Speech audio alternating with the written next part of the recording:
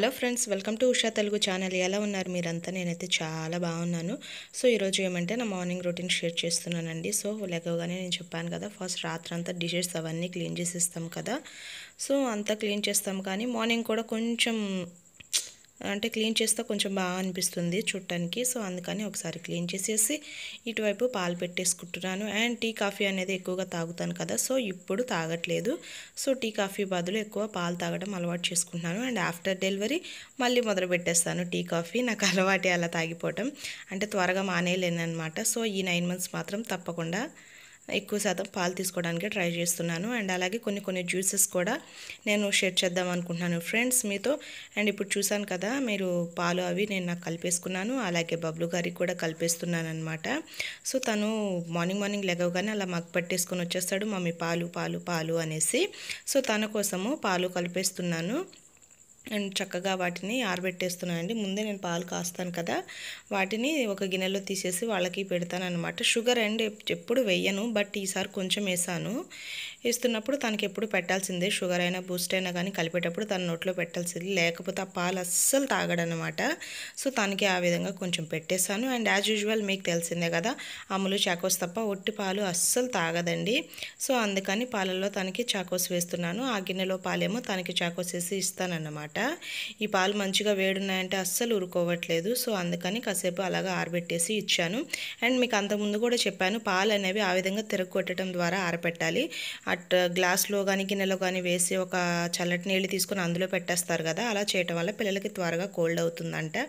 And ఆ తర్వాత వచ్చేసి నేను పాలు అది తాగేశాను. అండ్ ఆ తర్వాత టిఫిన్ చేశాను దోశలు దోశలు చేశాను అనమాట ఈరోజు టిఫిన్. చూస్తున్నారు కదా బబ్లుకు దోశలు పెట్టాలంటే నాకు ఎంత తిప్పలోనండి. అండ్ మా అమ్మ కానీ ఎవరైనా పెడితే అస్సలు తినడన్నమాట. ఇంకా నేనే పెట్టాలి. సో తప్పట్లేదు. చూసారు కదా అస్సలు నేను టిఫిన్ పెడుతున్నాను? అలా పడుకొని ఇంకా కదలడు మెదలడండి. అస్సలు మాట్లాడు ఇంక అంతే ఉంటాడు అనమాట సో ఈ విధంగా అయితే ఆటలు సాగుతున్నాయి అని సో చాలా ఆటలు ఆడతాడు. ఇంక ఈ టైం మాత్రం తప్పదు. వాడు ఎన్ని చేసినా కానీ సైలెంట్గా ఉండాలి.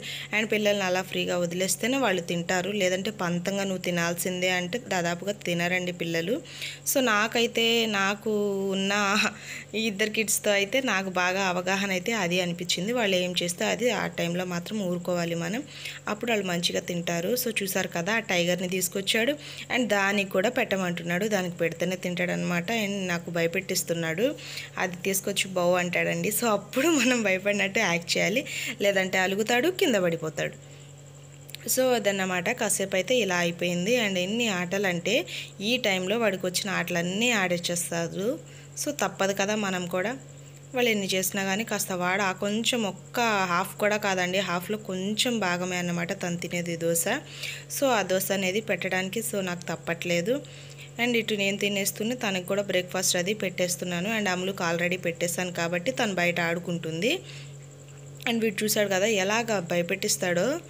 సో మళ్ళీ భయపడకపోయినా ప్రాబ్లమేనండి కింద పడిపోతాడు. అండ్ ఆ తర్వాత ఆ టైగర్తో బోర్ కొట్టేసింది అలా పక్కన పడేసాడు ఆ తర్వాత బాల్ తీసుకు బాల్ తీసుకున్నాడు.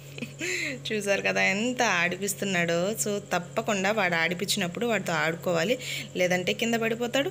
అండ్ యాజ్ యూజువల్ ఏడుస్తాడు. సో ఆ తర్వాత అది అయిపోయింది. నేను స్నానం చేయించాను. ఎందుకో ఈరోజు స్నానం చేయించుకొని పడుకున్నాడు అనమాట ఈరోజు నేను డ్రై ఫిష్ కర్రీ చేస్తున్నానండి. Dry ఫిష్ని three two times three four times wash చేశాను. అలాగే కొంచెం హాట్ వాటర్ తీసుకొని అందులో వేసాను అప్పుడు మనకి దాని మీద వైట్ పీల్ అనేది ఉంటుంది కదా అది ఈజీగా రిమూవ్ అవుద్ది. అలాగే స్మెల్ కూడా అస్సలు ఉండదండి. చాలా బాగుంటుంది. డ్రై ఫిష్ కర్రీ మేమైతే ఇలా చేస్తాము. సో కొంతమంది స్టీల్ వాడమంటున్నారు కొంతమంది ఇవి వాడమంటున్నారు అండ్ కొంతమంది నాన్ స్టిక్ వాడొద్దు అంటున్నారు బట్ ఏది వాడాలో నాకు అస్సలు అర్థం కావట్లేదు. మన అమ్మ వాళ్ళు ఎప్పటి నుంచి ఇవే వాడతారు కాబట్టి సో నేను ఇది వాడుతున్నాను. అప్పుడప్పుడు నాన్ స్టిక్ కర్రీస్ వాటికి అవి వాడతాను అన్నమాట అంటే ఫ్రైస్ అలాంటివి ఉంటాయి కదా అప్పుడు నేను అది వాడుతున్నాను. బట్ ఏది వాడాలో అస్సలు అర్థం కావట్లేదండి. ఈ గిన్నెల గురించి చెప్తున్నాను. సో నేనైతే ఫస్ట్ ఆయిల్ అనేది కొంచెం ఎక్కువగానే తీసుకున్నానండి. ఎందుకంటే మనకి ఫిష్ అనేవి మంచిగా ఇందులో ఫ్రై చేస్తాము. ఇలా ఫ్రై చేయడం వల్ల క్రిస్పీ క్రిస్పీగా ఉంటుంది. అండ్ నీచు స్మెల్ ఆ నాన్ వెజ్ స్మెల్ అనేది అస్సలు రాదండి. చాలా బాగుంటుంది. ఎప్పుడో ఫిష్ కర్రీ చేసినా కానీ ఈ విధంగా ఫ్రై చేయడం వల్ల కర్రీ అనేది చాలా బాగుంటుంది. అండ్ నాకు ఇది మా అత్తయ్య నేర్పించారనమాట మా అత్తయ్య చాలా బాగా చేస్తారు వంటలు. సో వేసిన తర్వాత అదే ఆయిల్లో మనం ఈ ఆనియన్స్ పచ్చిమిర్చి ఇవి యాడ్ చేసుకుంటామండి. అండ్ కొంతమంది ఆయిల్ మారుస్తారు. బట్ ఆయిల్ మార్చి చేయడం కంటే కూడా అదే ఆయిల్లో కూర చేయడం చాలా బాగుంటుందండి. మీరు ఒకసారి ట్రై చేసి చూడండి.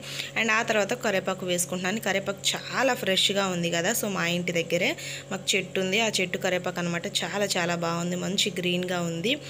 సో ఆ తర్వాత నేను టమాటాలు కట్ చేసి పెట్టుకున్నాను కదా. అవి కూడా యాడ్ చేశాను. ఆ తర్వాత అందులో కొద్దిగా పసుపు అలాగే కొంచెం కారం.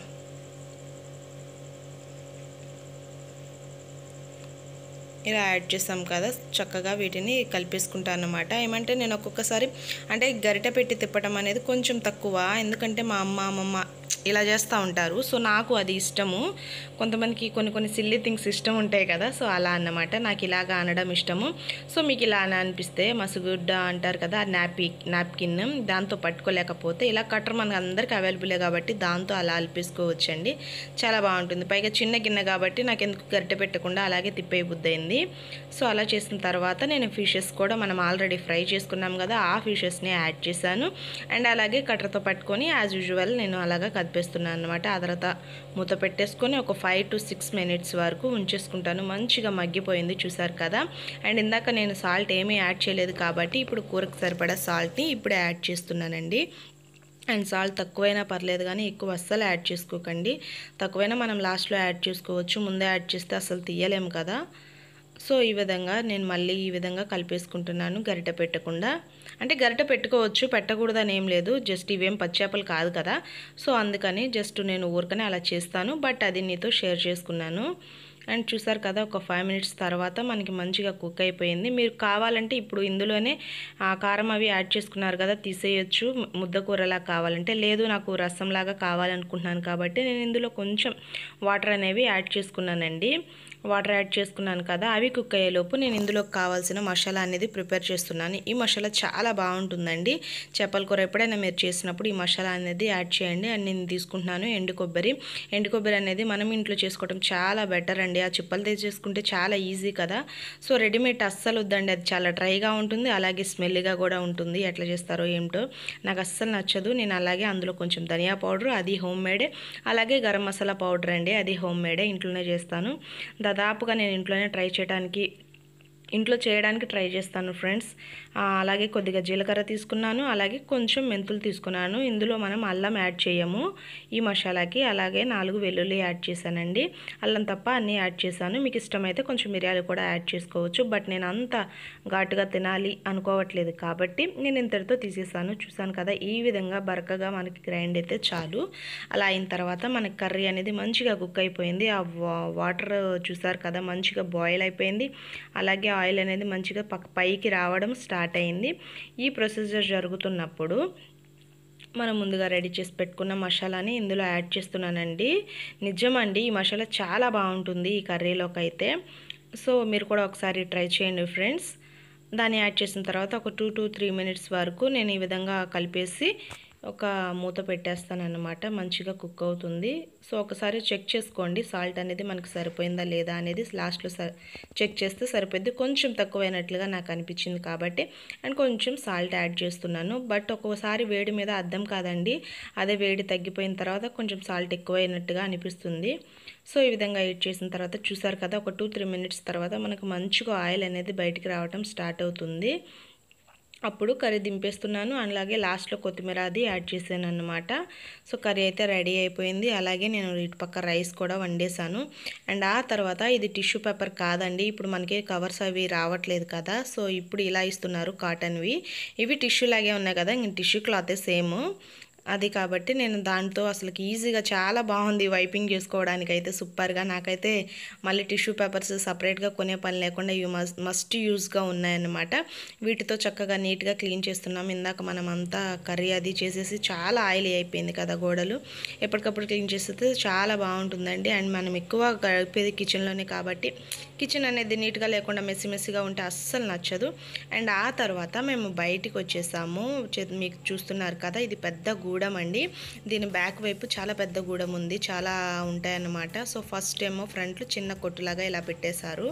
అండ్ బబ్లు వాళ్ళకి ఎప్పుడో చెప్పాను కదా ఒక బైస్కిల్ తీసుకుందామని. నాకైతే ఇక్కడ పింక్ బైస్కిల్ ఉంది. అది చాలా బాగా నచ్చింది. బట్ వీళ్ళిద్దరికీ అది చేతగాదు కాబట్టి అది చాలా హెవీగా అనిపించింది. బట్ పడేసుకుంటారు. ఇద్దరు ఎక్కి రఫ్ అండ్ టఫ్గా తొక్కడానికి బాగుంటుంది. అండ్ మిక్కీ మౌస్ అవి ఆన్లైన్ వాటిలో చూసాం కానీ బట్ ఇక్కడ మాకు బయట తిరుగుతారు సిమెంట్ రోడ్డు మీద. సో అదైతే అంత యూస్ కాదు కాబట్టి నేను రఫ్ అండ్ టఫ్గా యూస్ చేయడానికి ఏదో మామూలు రిక్షా లాంటిది ఇది తీసుకున్నాను అన్నమాట మీకు ఎలా ఉంది ఫ్రెండ్స్? ఇదైతే బాగాలే ఉంది. నాకైతే భలే నచ్చింది. అండ్ ఇత్తే కానీ అమ్ములు అయితే ఆడుకుంటుంది కానీ బబ్బులు చాలా భయపడ్డాడు దీంట్లో ఆడుకోవడానికి. పిల్లలు అంతే కదా కొంత చిన్నపిల్లలు తొందరగా అట్రాక్ట్ అవ అవ్వలేరు అన్నమాట అమ్ములకు తెలుసు కాబట్టి మంచిగా ఆడుకుంటుంది. అలాగే ఆ తర్వాత బట్టలన్నీ ఈ విధంగా మడత పెట్టేశాను.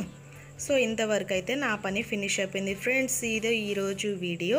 ఈ వీడియో మీకు నచ్చినట్లయితే ప్లీజ్ లైక్ చేయండి షేర్ చేయండి సబ్స్క్రైబ్ చేయండి అలాగే కామెంట్ చేయండి friends. Thank you for watching నేను ఫ్రెండ్స్ మళ్ళీ నా నెక్స్ట్ వీడియోలో మిమ్మల్ని కలుసుకుంటాను. Thank you for watching bye bye